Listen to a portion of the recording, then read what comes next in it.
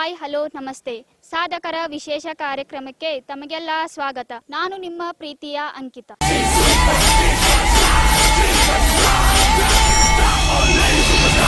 ಛಲ ಅನ್ನುವಂಥದ್ದು ಮನುಷ್ಯನನ್ನು ಯಾವ ಎತ್ತರ ಮಟ್ಟಕ್ಕಾದರೂ ಕೊಂಡೊಯ್ಯುತ್ತೆ. ಧೈರ್ಯವೇ ಹಿಮಾಲಯ ಎಂಬಂತೆ ಧೈರ್ಯವೇ ತನ್ನ ಜೀವನದ ಸಾಧನವಾಗಿಸಿಕೊಂಡಂತ ನಮ್ಮೆಲ್ಲರ ಪ್ರೀತಿಯ ವಿದ್ಯಾರ್ಥಿನಿ ಅಶ್ವಿನಿ ಅವರ ಸಂದರ್ಶನ. ಪಿ ಎಸ್ ಐ ಅಶ್ವಿನಿ ಅವರು ತಮ್ಮ ಸಾಧನೆಗಳನ್ನು ನಮ್ಮ ಸಂಸ್ಥೆಯ ನಿರ್ದೇಶಕರಾದ ಬಸವರಾಜ್ ಭಂಗಾರಿ ಅವರೊಂದಿಗೆ ಹಂಚಿಕೊಂಡಿದ್ದಾರೆ.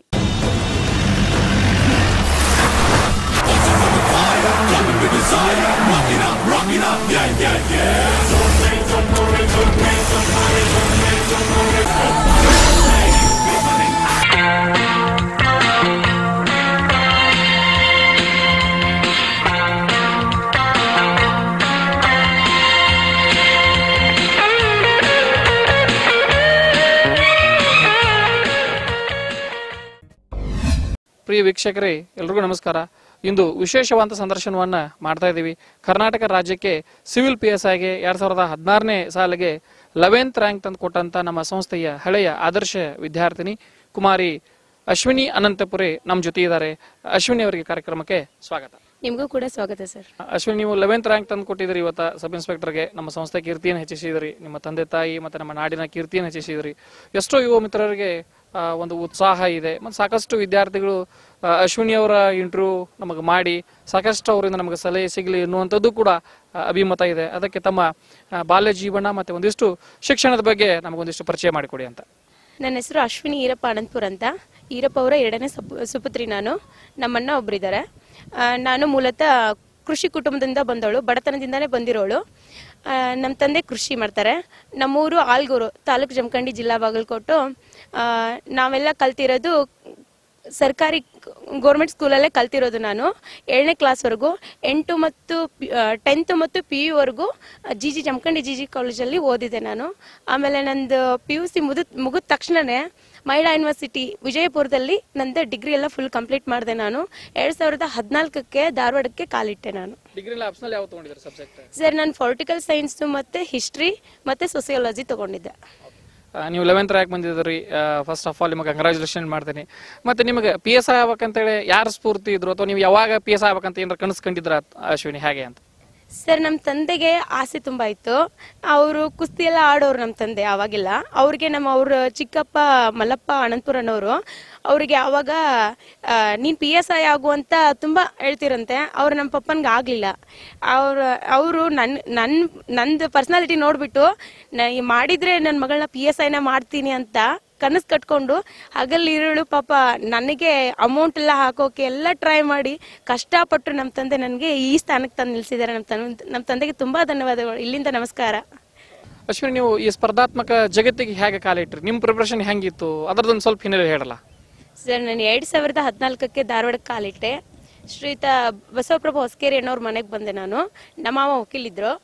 ಆ, ನಮ್ಮ ಮಾವ ಬಂದ್ಲು ಬಂದು ಒಂದೆರಡು ಸರ್ತಿ ನಿನ್ಗೆ ಯಾವ್ದು ಇನ್ಸ್ಟಿಟ್ಯೂಟ್ ಚೆನ್ನಾಗೈತೋ ಒಂದ್ ಸರ್ತಿ ಹೋಗಿ ಸಪ್ತಾಪುರ್ ಕಡೆ ನೋಡ್ಕೊಂಬ. ಎಲ್ಲ ವಿದ್ಯಾ ವಿದ್ಯಾಲಯ ಇದ್ದಂಗೈತೆ ಐತೆ. ಒಂದ್ ಸರ್ತಿ ಹೋಗಿ ನೋಡ್ಕೊಂಬ ಅಂದ್ರು. ವಿಸಿಟ್ ಮಾಡಂದ್ರು. ನಾನು ಅನ್ಕೊಂಡೆ ಯಾವ್ದು ಆಯ್ಕೆ ಮಾಡ್ಕೋಬೇಕು ಏನೋ ನಂಗೇನು ಗೊತ್ತಿಲ್ಲ ಅಂತ ಅನ್ಕೊಂಡು ಹೋದೆ. ಅಲ್ಲಿ ನನ್ನ ಫ್ರೆಂಡ್ ಒಂದು ಗ್ರೂಪ್ ಆಗೋಯ್ತು ಎಂಟು ಜನದ ಒಂದು ಗ್ರೂಪ್ ಆಗೋಯ್ತು. ಅಲ್ಲಿ ಬಸವರಾಜ್ ಕುಂಕಾಳೆ ಅನ್ನೋರು ಯುನಿಕ್ ಟ್ರಿಪ್ ಚೆನ್ನಾಗೈತೆ. ಹೋಗುವ ಪ್ರೀ ಕೋಚಿಂಗ್ ಕರೆದಾರೆ ನೋಡು ಒಂದಿಷ್ಟು ನಾನು ಎಷ್ಟು ಹೇಳ್ಕೊಡ್ತೀನಿ ಅಷ್ಟು ಓದು. ಪಾಸ್ ಇದ್ರೆ ಹೋಗುವ ಅಂತಂದ್ರು. ನಾವು ಎಂಟು ಜನ ಸೆಲೆಕ್ಷನ್ ಆದ್ವಿ. ಒಂದೇ ಹಾ ಪ್ರೀ ಕೋಚಿಂಗ್ಗೆ ಸೆಲೆಕ್ಷನ್ ಆದ್ವಿ. ಆಮೇಲೆ ಅಲ್ಲೆಲ್ಲ ಕೋಚಿಂಗ್ ಹೇಳ್ಕೊಡೋರು ಚೆನ್ನಾಗಿ ಹೇಳ್ಕೊಡೋರು ನಮಗೆ. ಒಂದು ಕೋಚಿಂಗ್ ಕೋಚಿಂಗ್ ಕ್ಲಾಸಲ್ಲಿ ಕ್ಲಾಸ್ ಹೇಳ್ಬೇಕಾದ್ರೆ ಯಾವತ್ತೂ ಕ್ಲಾಸ್ ಮಿಸ್ ಮಾಡ್ಕೋತಿರ್ಲಿಲ್ಲ. ಒಂದು ಒಳ್ಳೆ ಒಳ್ಳೆ ಕ್ವಾಲಿಟಿ ಇರೋ ಇನ್ಸ್ಟಿಟ್ಯೂಟ್ ಅಂತಾನೆ ಹೇಳ್ಬೋದು. ನನಗೆ ಸ್ಫೂರ್ತಿ ಅಂದ್ರೆ ಬಸವರಾಜ್ ಕುಂಕಾಳೆ ಮತ್ತು ಬಂಗಾರಿ ಸರ್. ಅಲ್ಲಿ ಗುರುಗಳು ಹೆಂಗೆ ಫ್ಯಾಕಲ್ಟಿ ಹೆಂಗಂದ್ರೆ ಒಂದು ದಿವಸ ನನಗೆ ಪಿ ಎಸ್ ಐ ಎಕ್ಸಾಮು ಇನ್ನೊಂದು ಮೂರು ದಿವಸ ಏನೋ ಇತ್ತು. ಸರ್ ನನಗೊಂದು ಬುಕ್ ಬೇಕಾಗಿತ್ತು. ನಾ ಬುಕ್ ಸಿಕ್ಕಿರಲಿಲ್ಲ. ಅವ್ರ ಹತ್ರ ಆ ಬುಕ್ ಇತ್ತು. ಅವರು ನಾನು ಹೋಗ್ತಿದ್ದೆ ಸರ್ ನನ್ಗೆ ಈ ಬುಕ್ ಬೇಕಾಗಿತ್ತು ಅಂತಂದೆ. ಆ ವ್ಯಕ್ತಿ ನನಗೆ ಮಳೆಯಲ್ಲಿ ತಮ್ಮ ರೈನ್ ಕೋಟ್ ಹಾಕೊಂಡು ಆ ಹೊಟ್ಟೆಲಿ ಇಟ್ಕೊಂಡು ನನಗೆ ಆ ಬುಕ್ ತಂದು ಆ ರೀತಿ ಅಲ್ಲಿ ವಿದ್ಯಾರ್ಥಿಗೆ ತುಂಬ ವಿದ್ಯಾರ್ಥಿಗಳಿಗೆ ತುಂಬಾ ಗೌರವ ಕೊಡ್ತಾರೆ. ಎಲ್ಲಾನು ಪ್ರೋತ್ಸಾಹ ಪ್ರೋತ್ಸಾಹ ಮಾಡ್ತಾರೆ. ಒಳ್ಳೆ ವಿಶ್ವವಿದ್ಯಾಲಯ ಅನ್ಬೋದು ಸರ್. ಕೋಚಿಂಗ್ ಕ್ಲಾಸ್ ಅನ್ಬೋದು. ಸರ್ ನಾನು ಮೂರು ತಿಂಗಳು ಕಂಟಿನ್ಯೂ ಅಟೆಂಡ್ ಮಾಡಿದ್ದೆ. ಯಾವ ಕ್ಲಾಸು ಮಿಸ್ ಮಾಡ್ತಿರ್ಲಿಲ್ಲ. ಅದರಲ್ಲಿ ತೇಲಿ ಸರ್ ಕ್ಲಾಸ್ ಅಂತೂ ಮೊದಲೇ ಮಿಸ್ ಮಾಡ್ತಿರ್ಲಿಲ್ಲ. ಒಳ್ಳೆ ಕ್ಲಾಸಸ್ ಸರ್. ಮತ್ತೆ, ತರಬೇತಿ ಯಾವ ರೀತಿ ಮತ್ತೆ ತಮಗೆ ಹೆಲ್ಪ್ ಆತಂತ ಹೇಳ್ತೀರಿ ತರಬೇತಿ ಅಂದ್ರೆ ಸರ್ ನಂಗೆ ಪಿ ಎಸ್ ಐ ಆಗೋಕೆ ಒಂದು ಆಗ್ಬೋ ಆಗ್ಬೇಕು ಅನ್ಕೊಂಡು ಬಂದಿರೋರ್ಗೆ ಆಗುತ್ತೆ ಅನ್ನೋ ಒಂದು, ಒಂಥರ ಎನರ್ಜಿ ಕೊಟ್ಟಂಗೆ ಅದು ವಿಶ್ವವಿದ್ಯಾಲಯ, ಹೇಳ್ಬೇಕು ಅಂದ್ರೆ ಕೋಚಿಂಗು ನನಗೆ ತುಂಬಾ ಹೆಲ್ಪ್ ಆಯ್ತು ಸರ್ ಅಲ್ಲಿಂದ. ಅಲ್ಲಿ ಇರೋರು ಗುರುಗಳು ನನಗೆ ಇದು ಎಸ್ಸೆ ಎಲ್ಲ ಬರೀಬೇಕಾದ್ರೆ ನಾನು ಅಕ್ಷರ ದುಂಡ ಆಗ್ತಿತ್ತು. ಪ್ಯಾಟರ್ನೇ ಗೊತ್ತಿರ್ಲಿಲ್ಲಲ್ಲ.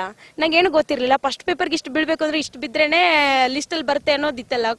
ಅದಕ್ಕೋಸ್ಕರ ನಾನು ಕೇಳ್ತಿದ್ದೆ ಅಲ್ಲಿ ಗುರುಗಳನ್ನ ಸರ್ ಎಸ್ಸೆ ಹೆಂಗ್ ಬರಿಬೇಕು? ಹೆಂಗ್ ಬರಿಬೇಕು? ಯಾವ ಪ್ಯಾಟರ್ನ್ ಅಲ್ಲಿ ಬರಿಬೇಕು? ಅಂದಾಗ ಸರ್ ಹೇಳ್ಕೊಡೋರು, ಅಮ್ಮ ಪೀಟಿಕೆ ಇಷ್ಟೇ ಬರಿಬೇಕು, ಇಷ್ಟೇ ಲೈನಲ್ಲಿ ಬರಿಬೇಕು.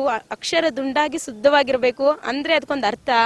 ಅಲ್ಲಿ ಹೇಳು ಪೀಟಿಕೆಯಲ್ಲಿ ಅಂದ್ರೆ ಫಸ್ಟಿಗೆ ನಿಮ್ದು ಏ ಮನಸ್ಸಲ್ಲಿ ಏನ್ ಬರುತ್ತೋ ಅದನ್ನ ಬರಿಬಾರ್ದಮ್ಮ. ಅದಕ್ಕೊಂದು ಮೂಲ ತಳ ಇದೈತೆ ಉಗಮದ ಬಗ್ಗೆ ಮೊದಲು ಅಲ್ಲಿಂದ ಹೋದ್ರೆ ಅದೊಂದು ಪೀಠಿಕೆ ವಿಷಯ ಇರಬೇಕು. ಅದ್ರ ಮರದ್ರೇನೆ ಮಾತ್ರ ಅದೊಂದು ಪೀಠಿಕೆ ಅನ್ನೋದು ಹಿಂಗೆಲ್ಲ ಹೇಳ್ಕೊಡೋರು ಪ್ಯಾಟರ್ನ್ ವೈಸ್ ಹೇಳ್ಕೊಡೋರು ನಂಗೆ ಹೆಸರು. ಆಮೇಲೆ ಇವ್ರು ಬಸವರಾಜ್ ಆದ್ರು ಆಮೇಲೆ ನಂಗೆ ಹೆಚ್ಚು ಹೇಳಿದ್ದು ಅಂದ್ರೆ ನೀಲಪ್ಪ ಸರ್ ಮತ್ತೆ ಆನಂದನ ತುಂಬಾ ಹೆಲ್ಪ್ ಮಾಡಿರೋದು. ನೀಲಪ್ ಸರ್ ಅಶ್ವಿನಿ ಹಿಂಗ್ ಮಾಡ್ಬೇಕು ಹಿಂಗ್ ಮಾಡಿ ಯಾವಾಗ್ಲೂ ಕಾಲ್ ಮಾಡಿ ಹೇಳ್ಕೊಡೋರು ನಂಗೆ. ಹಿಂಗ್ ಮಾಡ್ಬೇಕು ಹಿಂಗ್ ಬರೆದ್ರೆ ಅಷ್ಟು ಮಾರ್ಕ್ಸ್ ಬರ್ತಾವ ಇಷ್ಟ್ ಮಾರ್ಕ್ಸ್ ಬರ್ತಾವ ಅಂತ ಹೇಳ್ಕೊಡೋರು ನಂಗೆ. ಎಲ್ಲರೂ ಸಪೋರ್ಟ್ ಮಾಡಿದ್ದಾರೆ. ಅಶ್ವಿನಿ, ನೀವು ಒಟ್ಟಾರೆಯಾಗಿ ನಿಮ್ಮ ಸಕ್ಸಸ್ ಜರ್ನಿನಲ್ಲಿ ನೀವು ವೈಯಕ್ತಿಕವಾಗಿ ಪ್ರಿಪ್ರೇಷನ್ ಹೆಂಗ್ ತಯಾರಿ ಮಾಡ್ಕೊಂಡ್ರಿ ಅಂತ? ಸರ್, ನಾನು ಐದನೇ ಕ್ಲಾಸಿಂದ ಹನ್ನೆರಡನೇ ಕ್ಲಾಸ್ವರೆಗೂ ಬುಕ್ ಕಲೆಕ್ಟ್ ಮಾಡಿದ್ದೆ.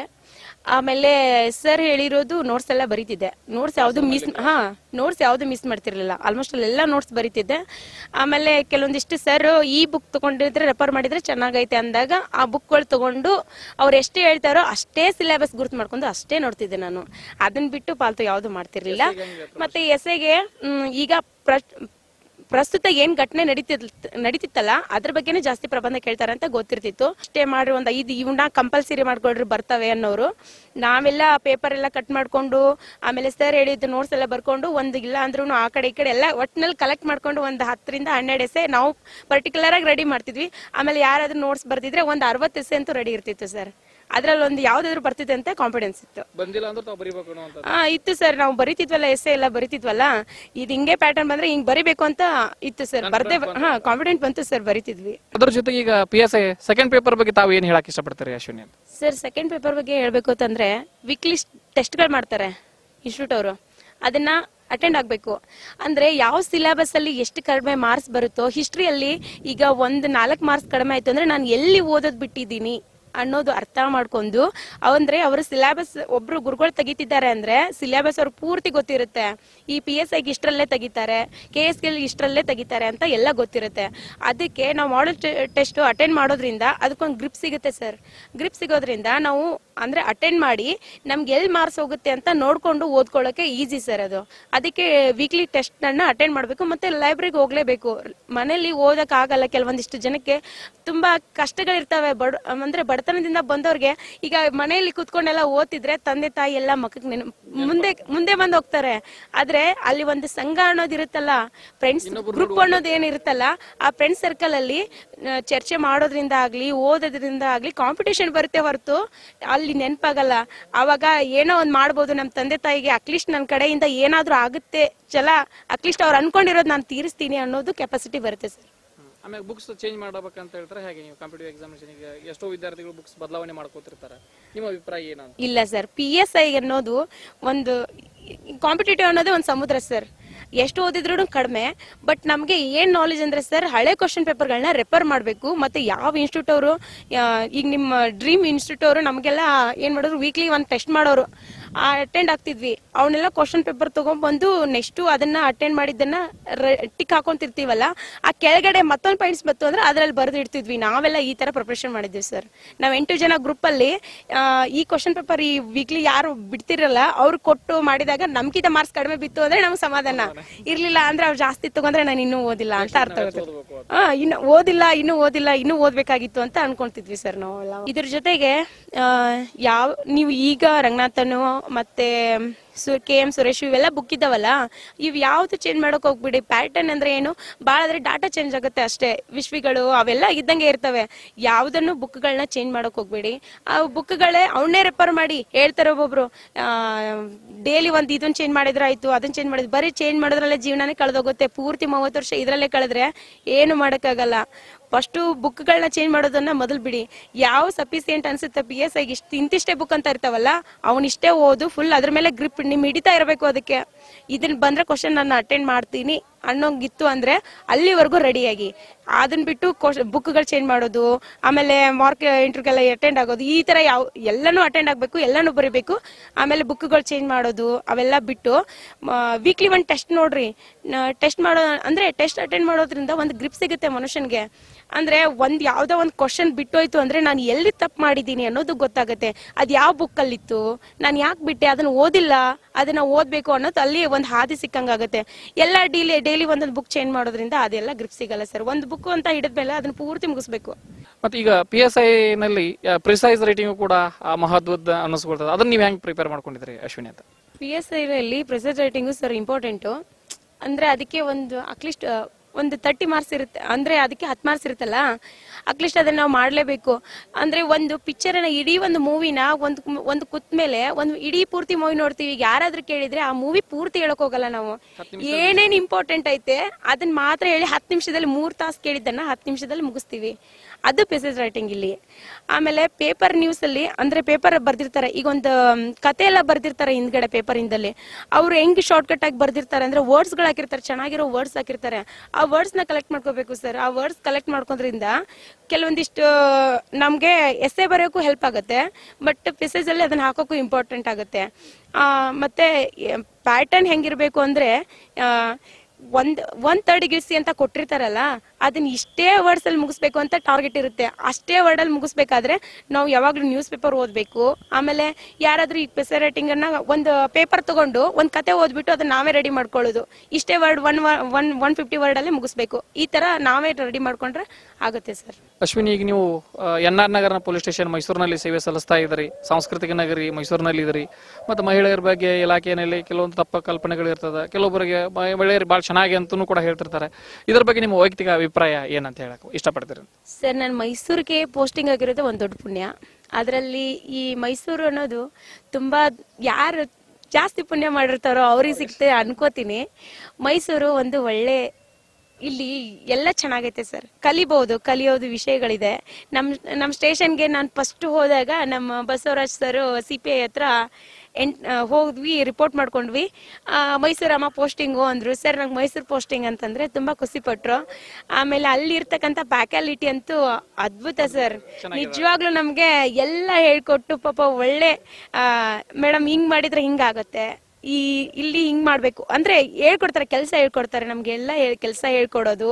ಮತ್ತೆ ಮೈಸೂರಲ್ಲಿರೋ ಎಲ್ಲ ಜನತೆ ಕೂಡ ತುಂಬಾ ಒಳ್ಳೆ ಮನ್ಸಿನವರು ಹೇಳ್ಬೇಕು ಅಂತ. ಮೈಸೂರು ದಸರಾ ನಡೀತಾ ಇದೆ. ಅದರಲ್ಲಿ ತಾವು ಕೂಡ ಬಂದೋಬಸ್ತಲ್ಲಿ ಇದ್ರಿ ನಿಮಗೆ ಹೇಗೆ ಅನಿಸುತ್ತೆ ಅಶ್ವಿನಿ? ಸರ್ ನಂಗೆ ಖುಷಿ ಆಗ್ತಿದೆ. ಅದು ಮೈಸೂರು ಚಾಮುಂಡೇಶ್ವರಿ ತಾಯಿ ಆಶೀರ್ವಾದದಿಂದ ನಾನು ಇಲ್ಲಿ ಮೈಸೂರು ಪೋಸ್ಟಿಂಗ್ ಆಗಿರೋದು.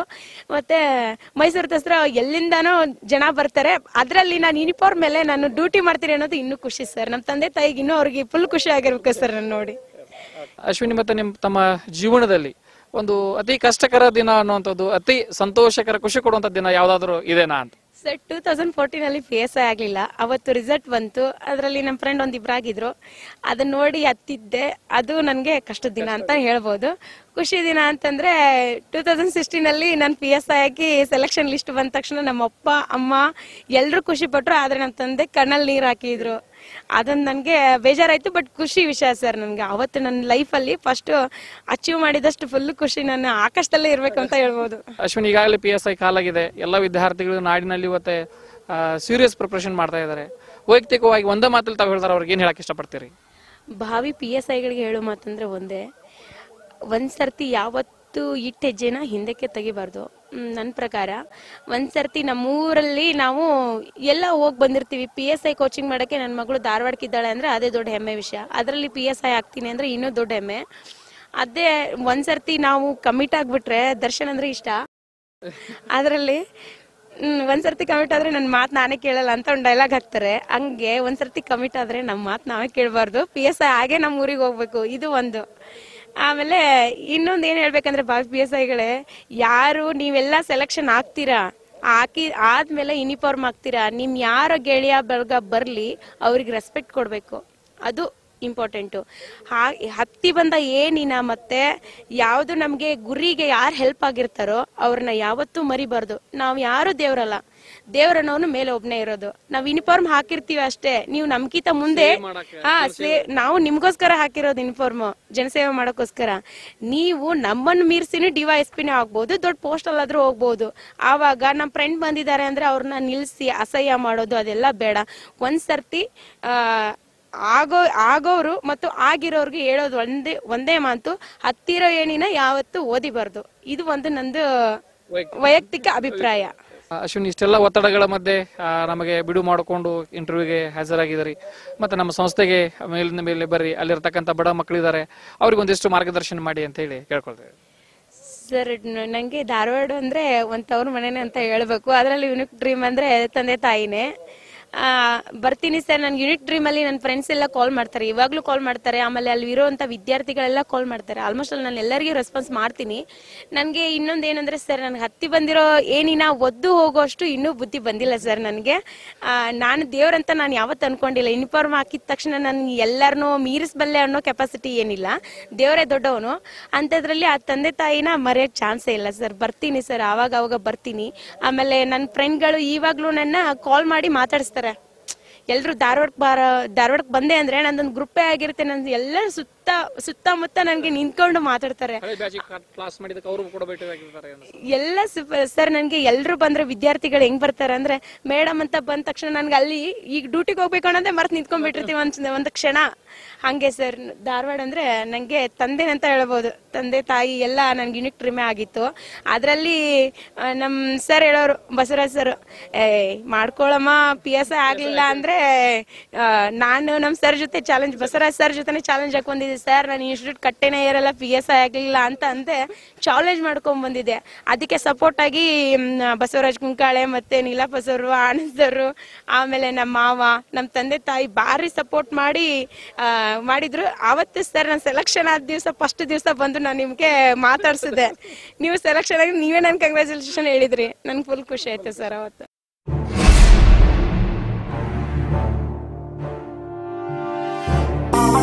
ನೋಡಿದರೆಲ್ಲ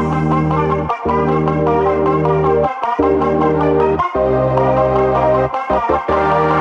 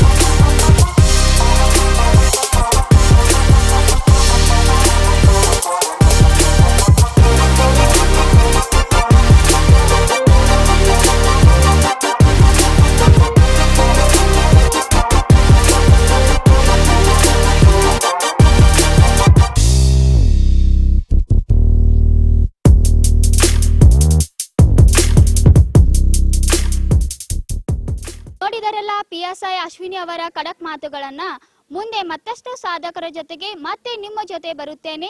ಅಲ್ಲಿವರೆಗೂ ನಮ್ಮ ಚಾನೆಲ್ ಅನ್ನ ಸಬ್ಸ್ಕ್ರೈಬ್ ಮಾಡಿ, ವಿಡಿಯೋವನ್ನ ಲೈಕ್ ಮಾಡಿ, ಶೇರ್ ಮಾಡಿ. ನಮ್ಮ ಚಾನೆಲ್ ಅನ್ನ ಸಬ್ಸ್ಕ್ರೈಬ್ ಮಾಡಿ, ನಮ್ಮ ಚಾನೆಲ್ ಅನ್ನು ಸಬ್ಸ್ಕ್ರೈಬ್ ಮಾಡಿ ಹಾಗೂ ನಮ್ಮ ವಿಡಿಯೋನ ಲೈಕ್ ಮಾಡಿ, ಶೇರ್ ಮಾಡಿ. ಮಾಡ್ತೀರಲ್ಲ?